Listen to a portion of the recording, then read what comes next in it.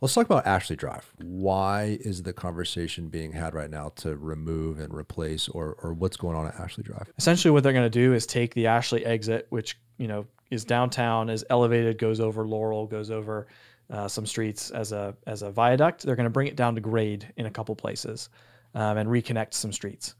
So um, that is. Um, you know, it's kind of like 175, but really short. But but the same effect, and for all the same reasons we already talked. About. Similar, yeah. It's you know, again, uh, the devil's in the details. It depends on the number of lanes and the quality of the boulevard and you know the areas around it. But yes, it's an improvement for sure. Um, and so I think you'll see here there's some dedicated bike infrastructure. Um, but in any case, it's it is it is a freeway removal light. So we had we got 5.3 million dollars from the federal government to take this challenge on, and you can you can see here in this rendering. I mean, it would be it would be amazingly beautiful to have something like this in downtown Tampa versus what we have now.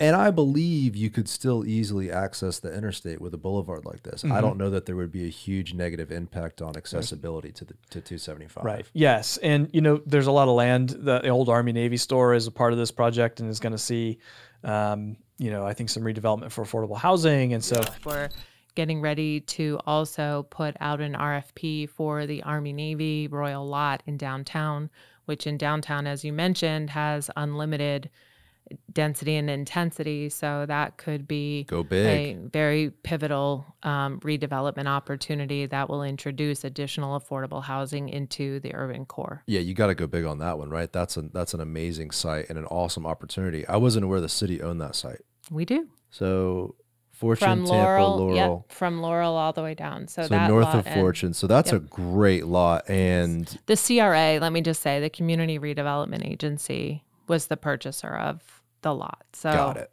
Um, So this it's a through the city, but combination with the city and the right. CRA. Yes. Now, what are we looking at here? This will be a part of that affordable housing solution.